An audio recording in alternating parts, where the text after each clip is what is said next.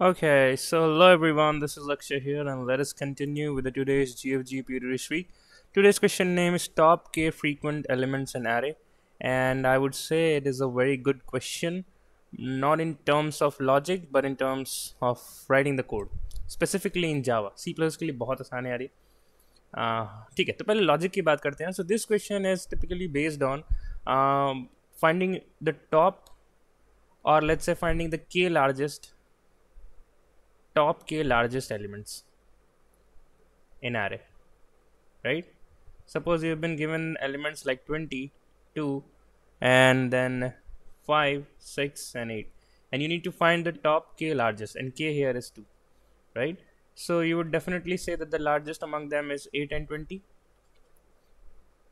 right तो इसके क्या अप्रोचेज हो सकते थे यार इस क्वेश्चन को करने के specifically to finding the top K large सबसे पहले तो क्या था कि you can sort they are A right in an log N and you return the last to indices last to indices but this would take you the N log N time कॉमिस्टी same चीज़ को priority queue से कैसे कर सकते थे यार we need to find the top के largest right तो हम यहाँ पे मिन हीप का इस्तेमाल कर करते थे वी यूज द मिन heap here and what do we do that we push that we पुsh the k elements and then if the size of the pq exceeds k then we keep on pulling out right so what i'm saying is that we push the first k elements. The k is what 2 so we will push the first two elements. And since this is a min heap it would maintain an order of ascending order right? It would maintain an ascending order.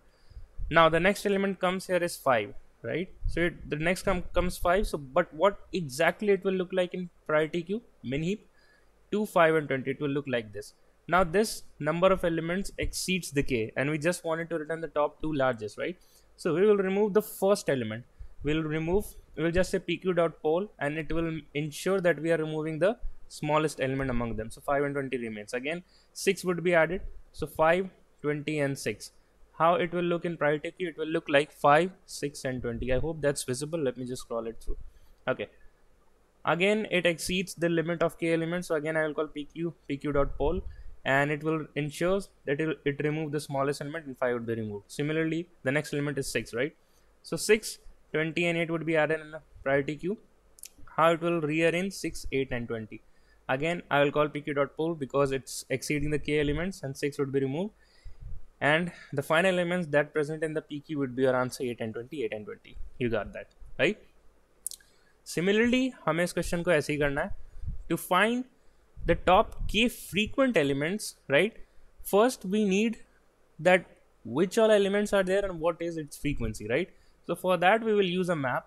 So in the map what it would look like? So you will have your key and value pair right? Key would be 1 2 and 3 key does not allow duplicacy i hope you know that. So what's the frequency of 1 it is 3 frequency of 2 it is 2 frequency of 3 it is 1 so this is what it will look like in a map in an unordered map in C++ and hash map in Java. Okay. The next step would be that we that we want a min heap. Okay. And the criteria should be the frequencies. Frequencies should be present in ascending order. Right? And if if frequency are same, if frequency are same, then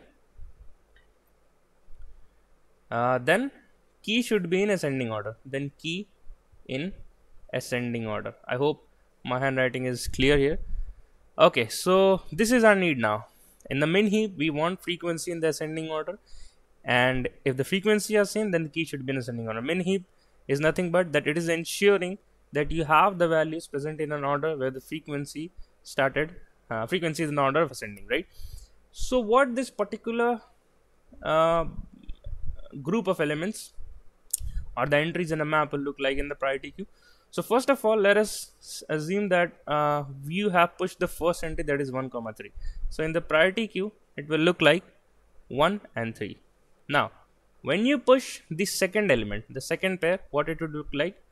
Uh, you will have 2 comma 2 at top and you will have 1 comma 3 here.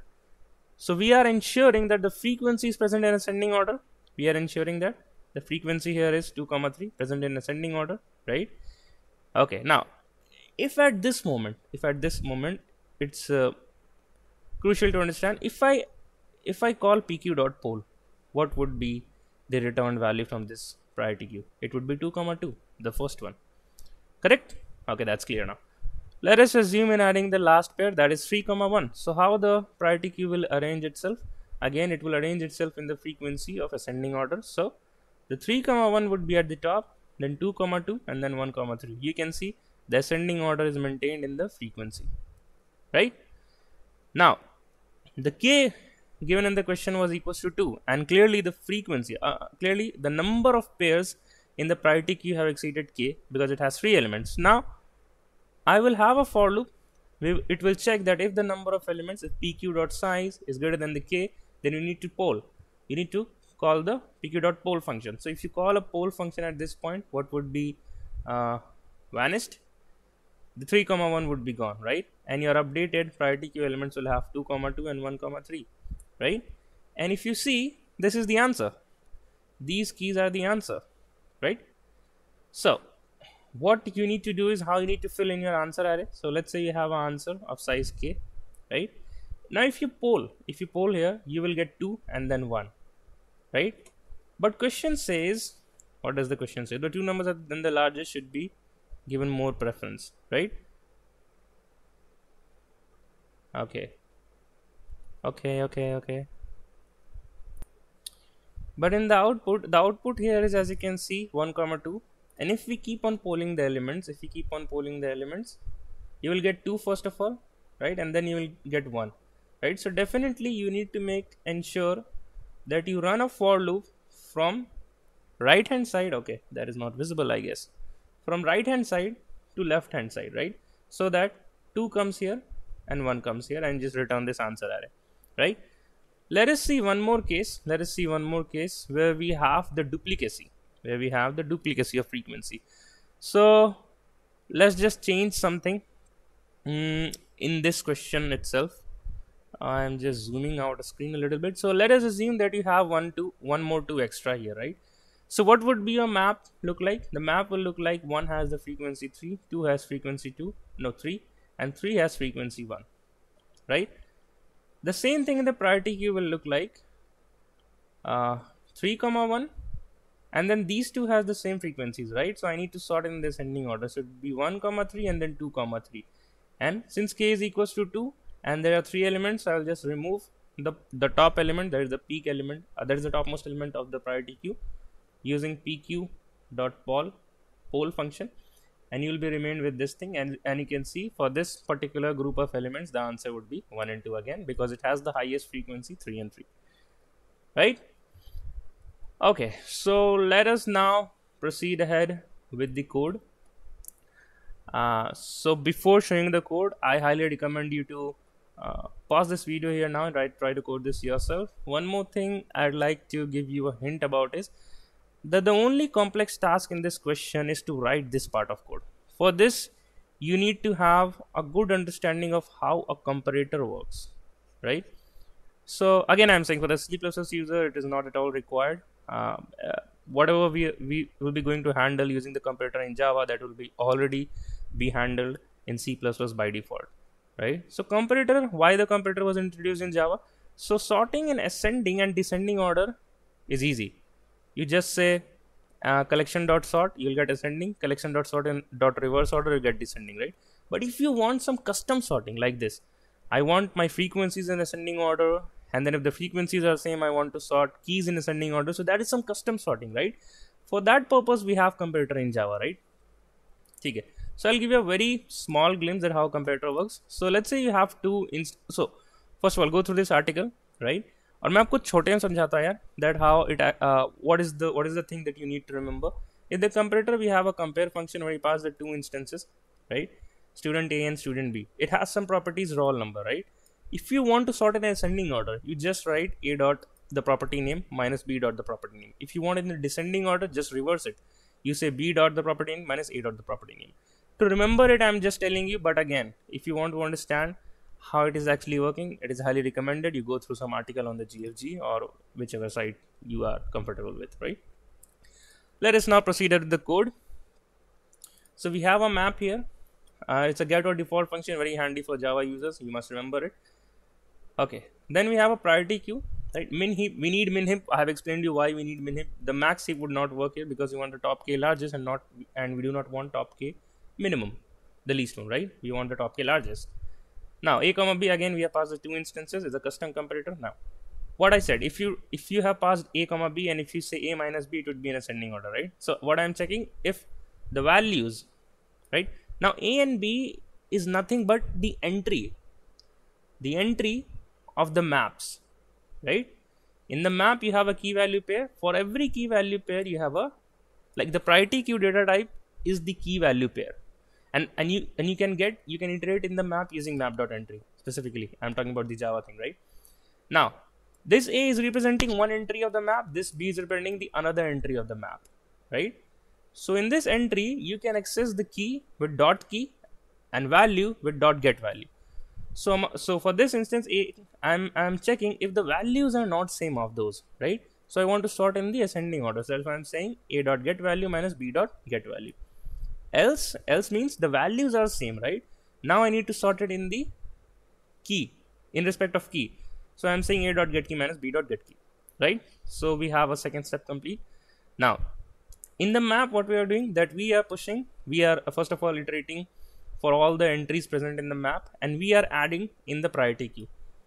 At any point of time, if the number of elements or the number of entries exceeds uh, the k value in the priority queue, then we call a pq.poll function. We've already seen in the dry run, right? To uh, we have already seen the intuition as well. That why we did that thing to find the top k largest elements in the array, correct? Okay, what else? What else? Now I, I told you that to store your answer uh, now we have the answer in the priority queue but in order to return the answer in the order as in the given output then what you need to do you need to start iterating from the right hand side to the left hand side. That's we have an index which is pointing to k minus 1 and while q is not empty pq is not empty we are just pulling out the uh, values the entries from the priority queue and we are getting the key value using the dot get key right? So again i'm repeating it may be a complex one not in terms of logic but in terms of writing the, writing the code specifically in java right so that is why sometimes i like c++ very much but yes i have kickstarted my journey with java so that is why i'm sticking it to it. Okay let us wait for the results. Great so that's been done that's been submitted. So what is the time and space complexity? So here the map is taking O of n now we have some parallel works right? So for each and entry for each and every entry in the map we are iterating so again n. And once it exceeds the k value the size of the particle exceeds k value we we call a poll function right? The poll function takes log log of the element present in the pq the priority queue has the element k at that time right? So it would be log k. We are doing for all the n elements n pairs or n entry in the map. So we would say n log k. So total complexity is n plus n log k ignoring the smaller time complexities. The the final time complexity would be n log k. What is the space complexity? O of n because we're using map and a priority queue to store it.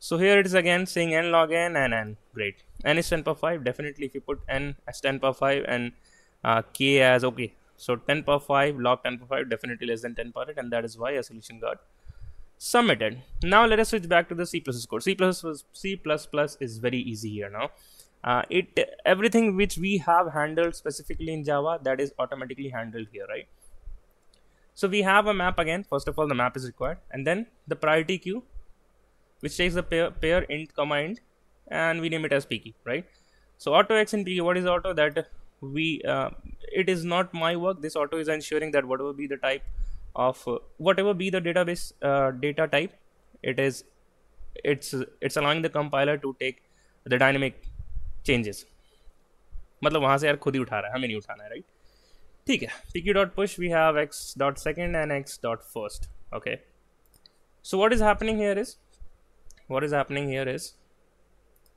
so in the map if the key value pair can be accessed using dot first and dot second but here what we are doing is that we are pushing the keys here. The value is here and the key is here right? So once we have pushed each and every element we already know the frequency that one has frequency 3 2 has frequency 2 and 3 has frequency 1 so if you push all the elements in the priority queue and if you try to print it then what you will get is it is automatically sorted in the descending order in the descending order of the frequency and if the frequency is same it is also taking care that the key should be sorted in descending order right so for let's say you have one more 2 here one more 2 right then you will have the frequency of 2 as 3 and 3 as 1 तो मैं आपको दिखाई देता हूँ यार I am just writing one more to here right and I'm uncommenting these steps and commenting these. Correct? So let me just compile and run. Great. As you can see 3 2 3 1 and 1 3 so it is automatically automatically handling the descending order sorting of the frequency via frequency. And if the frequency is same it is sorting the keys into the descending order. Okay? So we just have to take the advantage of these things. So let me just comment it again so once that is done i need the top k largest right? So we will just run a for loop for k times right? And we will keep on pulling out or let's say in the c++ keep on popping out the first elements right? And we'll keep on pushing it back into our answer vector. So that is it. So let us compile and run. Again what is the time and space complexity? Here it would be n log n.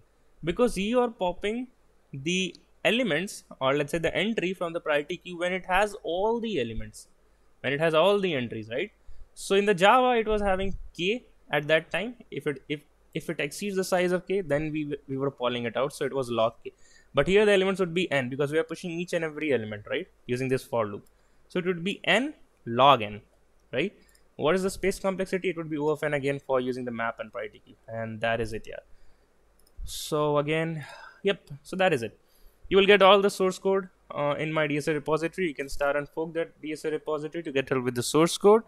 And let us end this video now. Let us meet again in the tomorrow's streak. Till then keep learning keep growing. Bye bye and take care guys